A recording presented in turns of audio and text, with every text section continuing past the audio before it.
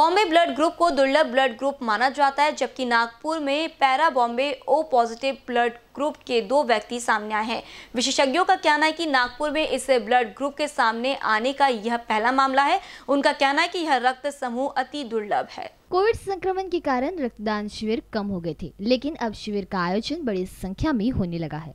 इसी तरह का रक्तदान शिविर डॉक्टर हेडगेवार ब्लड बैंक की ओर से आठ रास्ता चौक पर आयोजित किया गया था। इसमें एक व्यक्ति रक्तदान के लिए आया। उस व्यक्ति ने अपने बेटे का ब्लड ग्रुप अति दुर्लभ होने की बात कही। ब्लड बैंक की चिकित्सा अधिकारी डॉक्टर हर्षा सोनी ने इसे गंभीरता से लेते हुए उस व्यक्ति और उसके बेटे के ब्लड ग्रुप की जाँच की तो उनका blood group para Bombay blood group होने का पता चला। उन्होंने इस ब्लड ग्रुप को पुख्ता करने के लिए ब्लड के नमूने सहित लार के नमूने मुंबई के national Institute of immunohaematology में भेजे।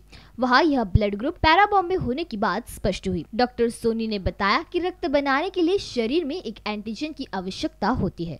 अनुवांशिक रचना में कुछ कारणवश म्यूटेशन यानी बदलाव होने पर एच एंटीजन तैयार न होकर इसके विपरीत एंटीबॉडीज तैयार होती है। पैराबॉम्बे ब्लड ग्रुप की व्यक्ति में एच एंटीजन या एच एंटीबॉडीज न तैयार होकर थोड़ी मात्रा में एच एंटीजन और एंटीबॉडीज रह जाती है। बॉम्बे रक्त समूह की व्यक्ति की लार में एंटीबॉडीज नज़र नहीं आती, जबकि पैराबॉम्बे रक्त समूह वाले व्यक्ति की लार में एंटीबॉडीज नज़र आती है।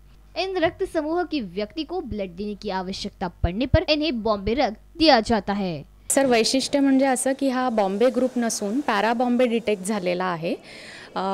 भारतामध्ये जवळपास दहा हजार डोनरमध्ये एक पॅरा बॉम बॉम्बे ग्रुपचा डोनर आढळतो.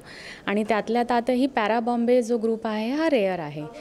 ह्याचं रेअर असण्याचं कारण म्हणजे आपली ब्लड ग्रुप सिस्टम जी आहे ती मेडिकल लँग्वेजमध्ये ए बी ओ ह्या ब्लड ग्रुप सिस्टम नावाने ओळखली जाते.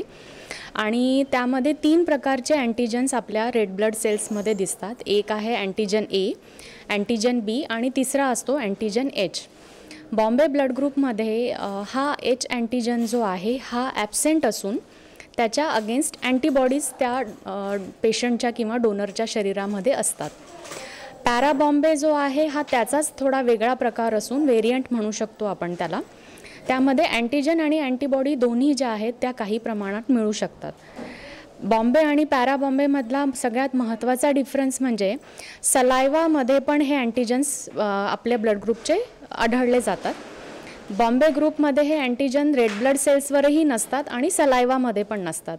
कॅमेरा पर्सन अखिलेश भारद्वाज के साथ Abhishek Panse B C N news Nagpur.